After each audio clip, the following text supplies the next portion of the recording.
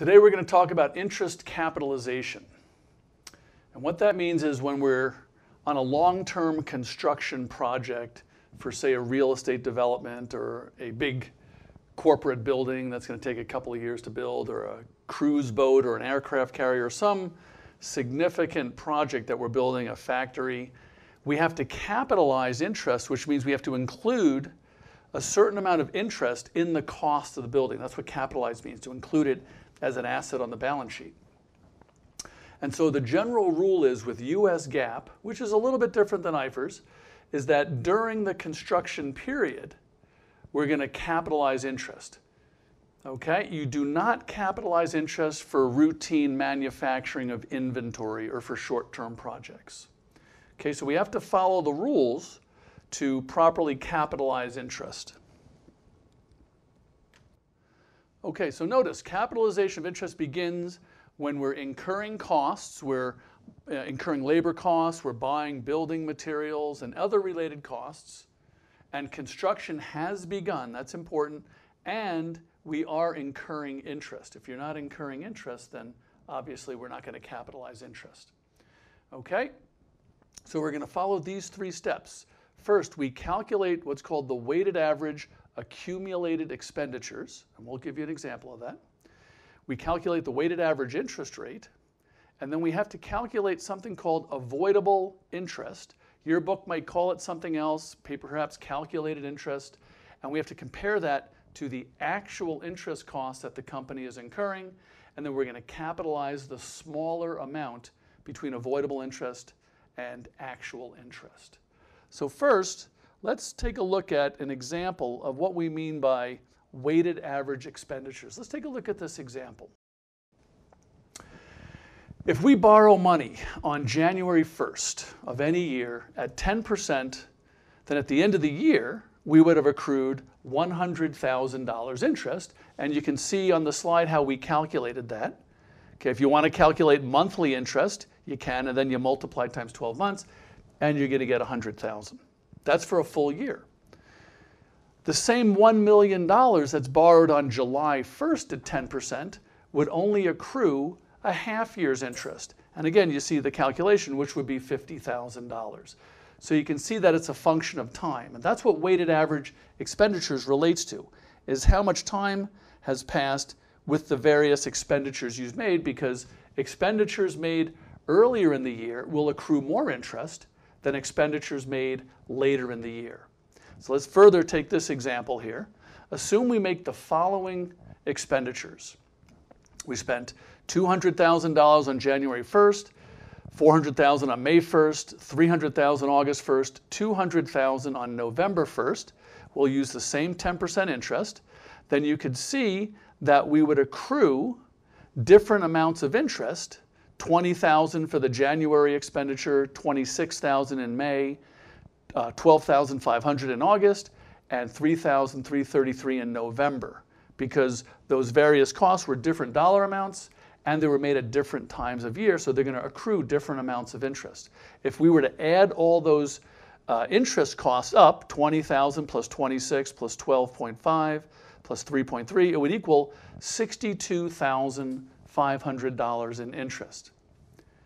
If we had borrowed $625,000 on January 1st at 10%, one year's interest would be $62,500, the same number. And that's exactly what weighted average expenditures is. It's saying all these different expenditures made at different times of year would be the equivalent to this one number that had been spent on January 1st, where we're calculating a full year's interest. Okay, so take a moment to look at that and try to make sense out of it. So the weighted average expenditures is simply coming up with one number that is, from a weighted standpoint, was made on January 1st, and we're going to accrue a full year's interest on that number. So let's take a look at an example to illustrate this whole process. On January 1st, 17, ABC begins a $3 million 20-month project to build a new facility. The project will be completed on August 31st of 2018, and the following payments were made in each of the two years. In 2017, we made those four payments, and in 2018, we made three payments. Now, we also have the following debt or long term liabilities. The company borrowed $500,000. It's a five year note at 7% interest specifically for this project. And we also had two other notes payable outstanding. Uh, from 2014, we borrowed 2 million at 6% due in 2020, and in 16 we borrowed 1.5 million at 8% due in 2021. So we're going to have to take these three different notes payable into account to calculate how much interest to capitalize. First, we calculate the weighted average accumulated expenditures. And let's take a look at what we have on the slide here. These are the four costs we've incurred at different points in time in the year 2017. So we calculate the number of months they were outstanding. Okay, 300,000 was spent on January 1st. That was outstanding for the full 12 months. So you multiply that times 12 over 12, and of course you're going to get the same 300,000. On May 1st, we spent 400,000. So that was outstanding for eight months out of the year, not 12 months, but eight months. So we're going to multiply 400,000 times 8 over 12, and that's going to give us a weighted average number of 266,667. On August 1st, we spent 200,000. August, September, October, November, December, it's outstanding for five months. So we're going to multiply 200,000 times 5 over 12, and that's going to give us a weighted average expenditure of 83,333, and then 500,000 was spent on December 1st, so you simply divide 500,000 by 12, and you're going to get 41,667. You add up those four weighted average numbers, and your weighted average accumulated expenditures is 691,000. $667. We're going to use that number to calculate how much interest to accrue for the project in the year 2017. Now remember, with any of these videos, anytime you feel I'm getting ahead of you, you just hit pause and you go back and you read and study and think and calculate, and I'll be waiting for you. In fact, I won't flinch. I won't even move. Okay, you hit the play button, and I'll continue as if I was just put on pause magically. Okay? All right, so now we have to calculate a weighted average interest rate, and I like to abbreviate so you can see my abbreviations. And notice there's two different methods. We have what's called the specific rate method, which is probably the preferred method, the better method, but we also have a weighted average rate method. So we're going to look at both methods. We'll do the specific rate method first. So remember, we borrowed $500,000 specifically for this project, okay? And so if the weighted average expenditures are 500,000 or less, we'll simply multiply the weighted average expenditures times the construction loan rate, and that'll be the avoidable interest. We would compare that to actual interest for the year, and the lower number is what gets capitalized on the balance sheet as part of the cost of the project. If the weighted average expenditures are more than the construction loan, as it is in this case, then we have to come up with a weighted average rate for the remaining notes payable. So we'll take a look at this first. Remember, weighted average expenditures were 691, 667. The construction loan was 500,000. So for 500,000 of the weighted average expenditures, we use 7%. But the remaining $191,000, which is in excess of 500, we're going to calculate a weighted average rate for the two remaining notes payable. So let's take a look at that.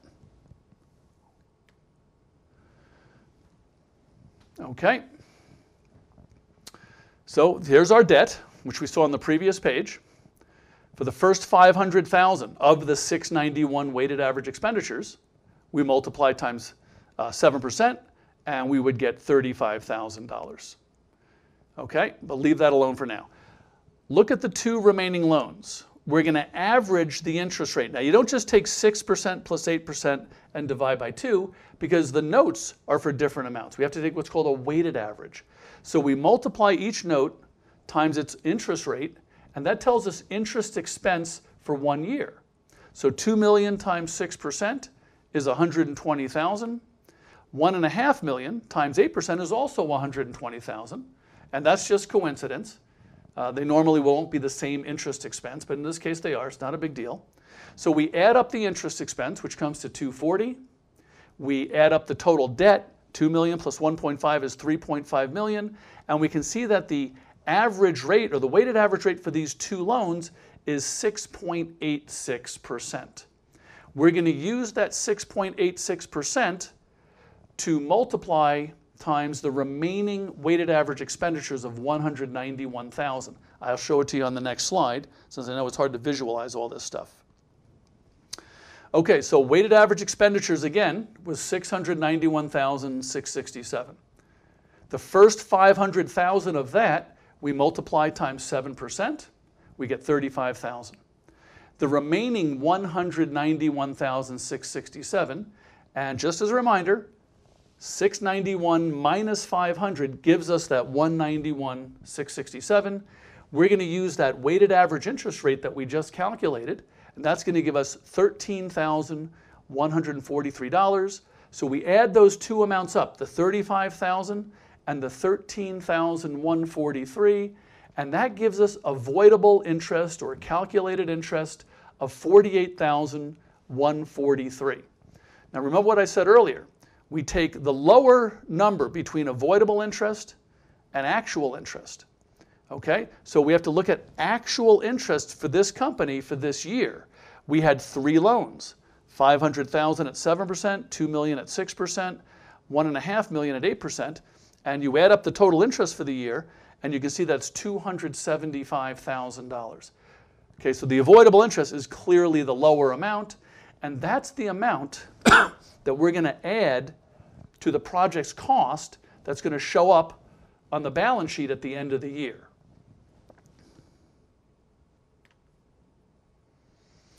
Now, the other way to calculate interest would be the weighted average rate method.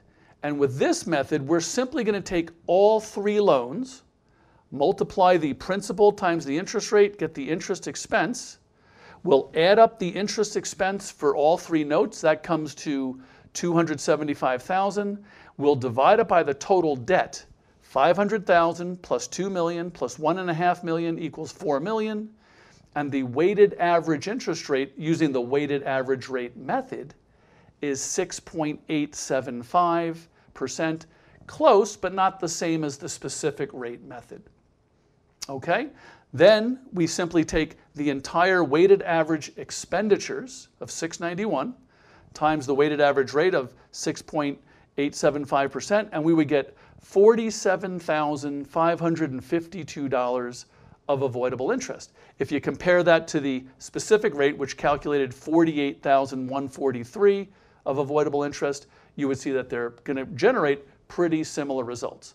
Usually, not always, but usually they'll produce pretty similar results. Okay, again, the specific rate is probably the better method to use, uh, but companies can use either one if they're not going to produce very different results. Okay, so at year end, on the balance sheet in the property, plant, and equipment section, we're going to have construction in progress, which is kind of like work in progress. In fact, it's the same thing. Okay? And we had those four expenditures of three, two, four, and 500,000, plus the 48,143 of capitalized interest. That's the avoidable interest. And at the end of the year, we have $1,448,143 of project on the balance sheet. Okay, now we're not done, we're still building, we're still constructing this project, so we have to go through to the next year to finish the project.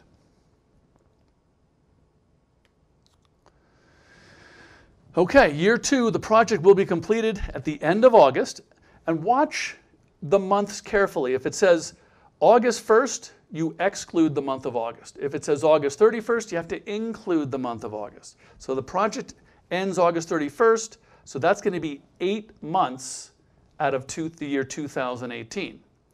Okay, so when we're calculating weighted average expenditures in the following year, and we only have eight months in the time period before the project ends. And remember, we stop capitalizing interest when the project ends, when the construction is complete. So to calculate weighted average expenditures, we're only going to use eight months. So we carry forward the 1,448 from the December 31st balance sheet. Okay, that's still going to accrue interest. All right, that's outstanding from January 1st through August 31st. So we multiply that times 8 over 8. It was outstanding for the entire time period, that eight months, and we get 1,448. In February, we spent 200,000, so that was going to be outstanding for seven months. So we multiply that times 7 over 8, and we get 175,000. Now, let me just say this. You might find it easier, easier conceptually to first take the 200,000, divide it by eight months, and then multiply it by the seven months, which is Feb, March, April, May, June, July, August. Okay? So it doesn't matter which way you do it. Whether you divide by eight, then multiply by seven, or multiply it by eight, divide by seven, you're going to get the same result. But conceptually, maybe it makes more sense to say, oh, I, I see the monthly expenditure times seven months. That would be the weighted average expenditure for that time period. May 1st, 300,000, so May, June, July, August. We multiply it times 4 over 8, that comes to 150. And our last expenditure was on August 1st, so that was outstanding for one month. So we simply divide 100 by 8, and we get 12,500. And my weighted average expenditures for 2018 as of August 31st would be 1,785,643. Now that we have the weighted average expenditures, we're going to calculate avoidable interest when we're going to use the specific rate this time.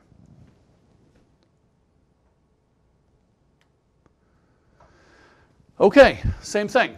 We have that construction loan.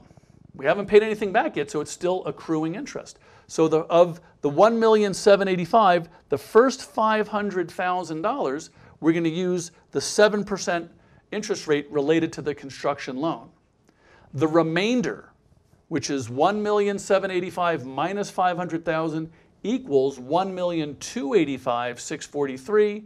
I'm going to multiply that times that weighted average rate that we came up with earlier of 0.06857 and our calculation of interest comes to 88,157. We add the 88,157 to the 35,000 and avoidable interest for the year, the calculation comes to 123,157. Now, here's kind of the strange part, or the tricky part here. Since the project ended in August, the end of August, it didn't go the full year. We have to multiply the 123,857 times eight months out of the year. So again, you could divide it by 12 and that would be monthly interest, and then multiply it times the eight months, and that'll give us avoidable interest of 82,104. That's the final number that we're looking for. Again, since we're only, the project ended August 31st, we're not going to calculate the full year's interest. That's what the 123, 157 would represent. We have to only include eight months out of that. So take 123, 157, divide it by 12. That gives you monthly interest. Multiply it times the eight months, January through August. And avoidable interest in the year 2018 is 82,104. And that's the amount we're going to add to the T account in the balance sheet to figure out the total cost of this project. Okay, so let's take a look at that. Okay, so we see that as December 31st, 2017, we had 1,448,143. Then in 2018, we had three more expenditures of 200, 300, and 100. There's the avoidable interest or calculated interest of 82,104. And this project had a total cost of 2,130,247. Okay? So you're going to have to look at this probably two or three times, hit pause, rewind, have your notes in front of you, and also have a calculator in front of you. You really want to be calculating these numbers along with me to try to reinforce the concept. And that's capitalized interest.